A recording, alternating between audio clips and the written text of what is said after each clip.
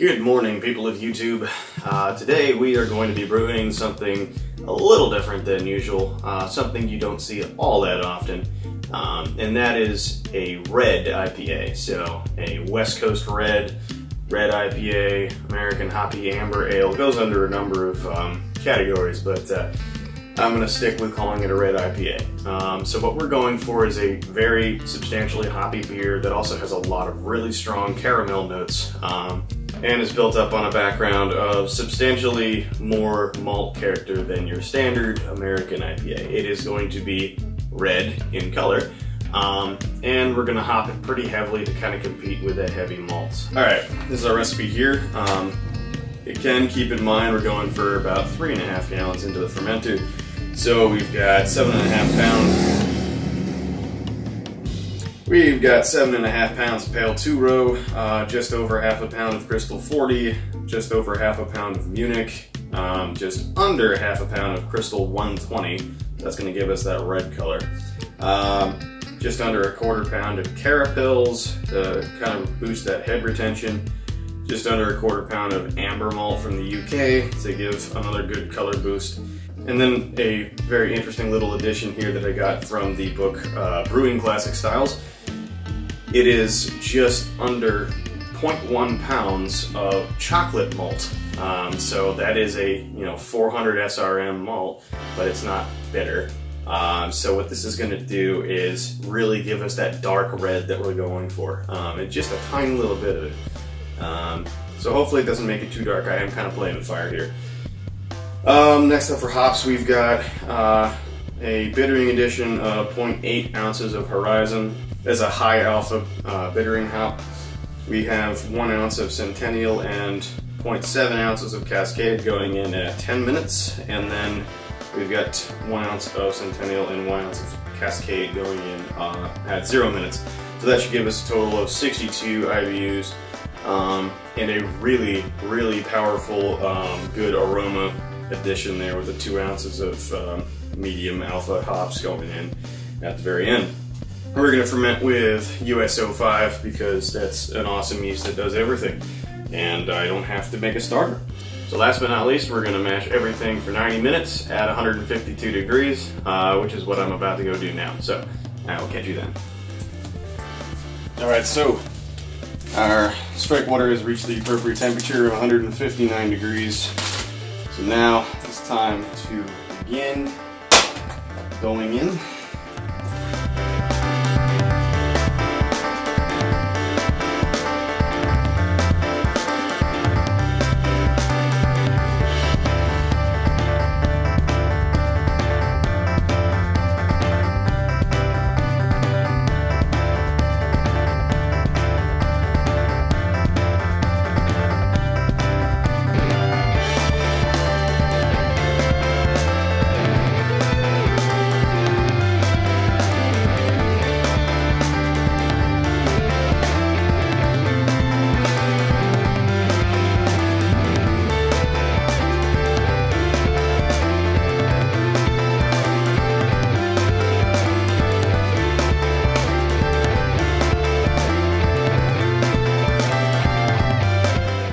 All right, so I'm pretty sure we're clump free and time to take our pre-mash temperature.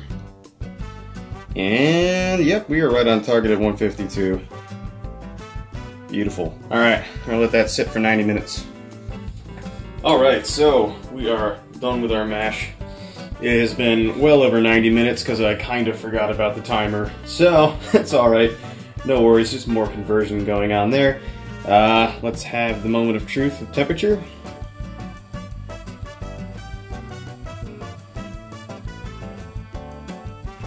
Mash. Uh, yeah, okay, so we're about 149. So I lost three degrees. Yeah, not too bad.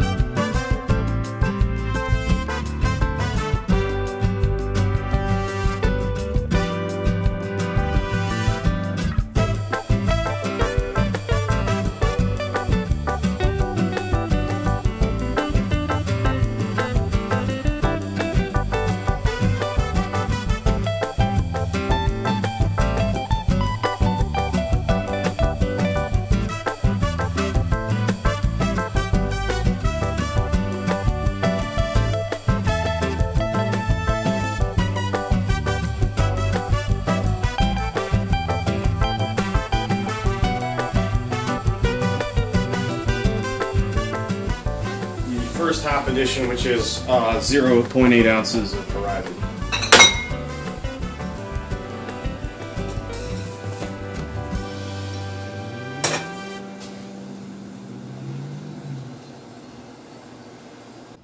Alright, so here we have our pre-boil OG, which is about 1.052. A little high compared to what I was shooting for at 1.046. Uh, but we'll see what happens. I mean, I'll probably just end up with a little bit stronger of a beer. Sorry about the traffic noise. Um, but at the end of the day, it's beer, right? So we have fun with it. Alright, yeah, so here's the second hop addition, um, which is oh god, what is it? Um, yeah, one ounce of Centennial and 0.7 ounces of Cascade, right? Yeah, okay. So we screwed up. Uh, yeah, so I threw the uh, the 10 minute hop addition in at 30 minutes. There is no 30 minute hop addition. There's a 10 minute hop addition. So we're gonna have a much hoppier beer. Um, than I was going for. So that's definitely to be very different than the intended result.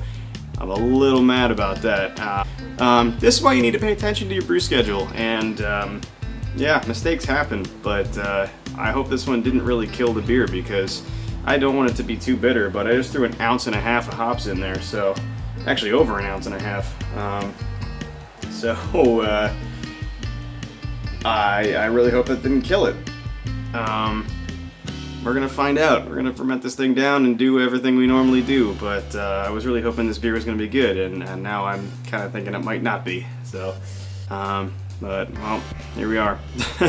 Alright, so after my little kind of uh, panicky moment there where I realized I dropped the wrong hop addition in way too early, um, thought about it for a bit, you know, did a little uh, looking around on the internet, as always. Um, so I think what we're going to do to try and compensate for that is um, kind of play with the last hop addition a bit. So normally it would be a zero minute hop addition, which means that I'm just dumping the hops in um, as soon as the boil's done, turn off the burner, um, start chilling, that sort of thing. What I'm going to do now is uh, we're going to try to attempt something called a whirlpool. I've tried this once before and I've kind of been eh, moderately successful with it, but um, what that means is basically leaving that zero minute addition in there uh, at about 170 to 180 degrees um, for an extended period of time. What I'm going to do uh, so I'm going to try and kind of go overboard on that. Uh, we're going to drop the last two ounces of hops that I have in there uh, at zero minutes, shut off the heat, cover the kettle, and just let it sit for like a half an hour. I want to try and maximize the aroma to balance out this crazy bitterness we're going to get, and then hopefully that's enough to kind of round out the beer enough. If I don't have a good aroma to accompany a serious level of bittering, uh, it's going to be a very unbalanced beer. And that's why I was kind of panicking earlier. Um, that 30 minute hop addition kind of has a lot of bitterness and not very much flavor and zero aroma. Um, so normally the 10 minute addition would be kind of more on the side of aroma. Um, so we're going to lose some of that aroma. And that's what I'm trying to kind of bring back. Uh, so we'll go with that, see how it goes. Um, I will obviously let you know. So.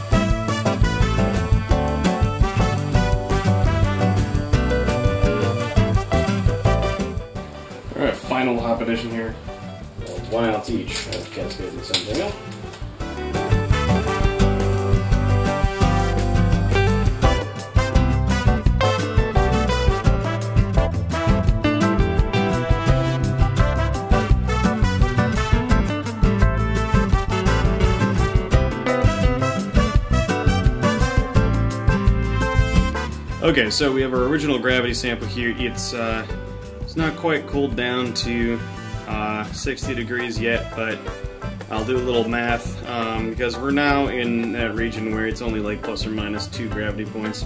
So our gravity reading is 1.060, um, which is uh, which is not bad. Um, with a temperature correction, it's going to be 1.062. So um, yeah, within two gravity points of our intended original gravity, albeit a bit low.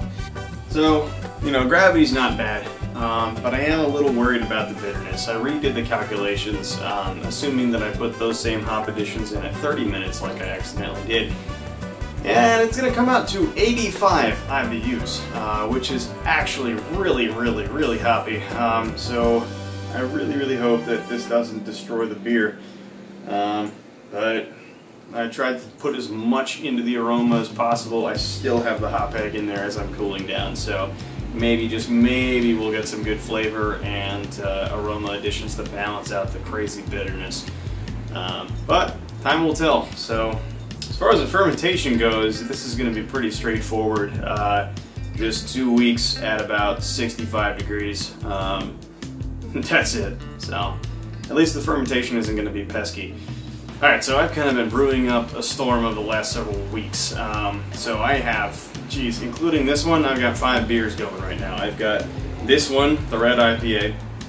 I've got um, a Belgian spiced quad that I made last weekend. Uh, I have a bourbon barrel aged kind of style stout uh, that I made the weekend before that.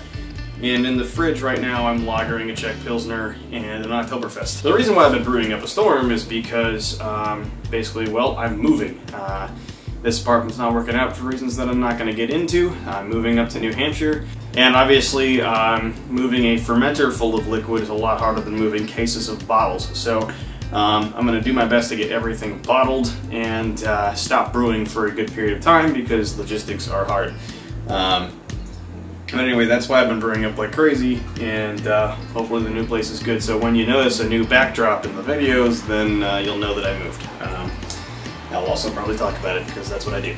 But anyway, um, this is our final beer in this apartment, so a little sentimental, uh, ultra bitter beer. So hopefully it works out. Alright, so we have our final gravity in, um, and it's reading about 1.011, uh, so that gives us about, I'd say 6.5% alcohol, which is not bad at all. Yeah, so we're going to go ahead and bottle this, um, give it a normal level of carbonation, about 2.5, 2.75 volumes, um, and hopefully it'll be ready to drink in about two weeks. Here we have our final product. So pretty standard ale fermentation at about two weeks, 68 degrees, um, and I cold crashed it for two days and bottled. Uh, real simple stuff, pretty straightforward. Um, and it had good results, I think. Uh, we had a final gravity of 1.012, so that left us with about 6.6% ABV, which is pretty standard for this um, uh, style of beer. So, without further ado, let's go ahead and pop this open. It should be nicely carbonated now. It has been about two weeks in the bottle, so hopefully we're good to go. Um, so let's see what happens. All right, so I, uh, I named this the middle ground because uh, essentially what it is. Uh, it is a nice middle ground between a dark beer and a light beer, middle ground between a hoppy beer and a non-hopped beer, and um, yeah, it's got a whole bunch of different kind of rounding characteristics to make a relatively balanced beer. So let's see how that 30 minute hop addition that I should not have done impacted the flavor and everything else.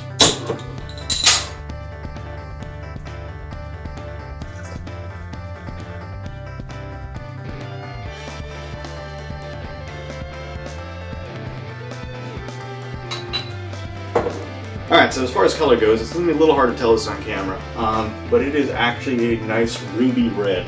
Um, so I think that comes from a very tiny amount of chocolate malt that I added, plus a little bit of that caramel 120. Um, I don't know if you can see this either because of the dark kind of color of the beer, but it is quite clear. Um, could probably clean itself up a bit more, but all in all, it's quite acceptable. A decent head retention, um, a nice kind of not exactly a white head, but you know, still a good looking head for this color of beer. Uh, so the next category, of course, is aroma. And, um, well, no real detectable hop aroma, unfortunately. Um, you get some some kind of fruity uh, hop aroma, but not really uh, any sort of classic, you know, cascade hop aroma, unfortunately.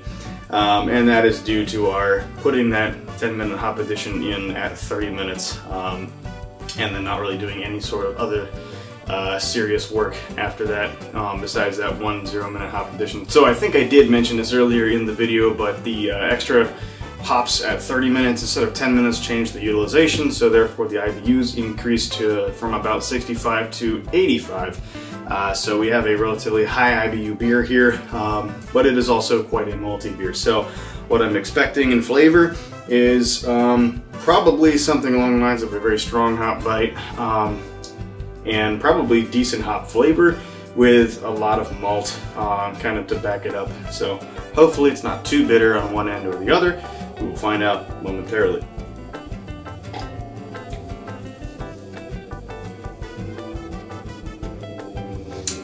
That's not bad at all. Hops are, uh, man, the hops are certainly there. um, but not in a bad way. Sorry about the noise. There is a dude who rides his moped down the street uh, pretty much this time every single night. Um, and he goes like 30 miles an hour, and traffic are all stuck behind him all the time, and it's ridiculously loud. And he does this every single night.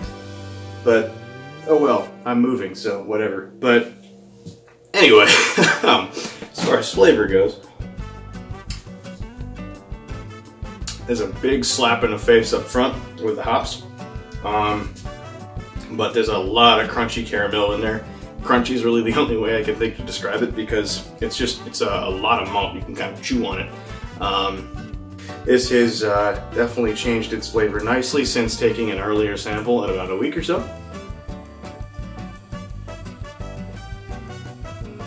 And yeah, it's relatively drinkable. You know, the body's not too thin, not too thick. Um, it's, uh, it's right around where it needs to be, I think. I would definitely uh, hesitate on calling this a red IPA though. I think it really classically needs a big boost of a hop aroma. Um, it needs a lot of hop nose at the end. If I had dry hopped this, I could probably solve that problem. I didn't really feel like doing that, nor did I have the time because I've been in the midst of moving, um, preparing for moving. So, uh, so that's kind of difficult to do. Um, but I think if I were to brew this again, I would probably get the exact same hop bill, um, follow that recipe properly.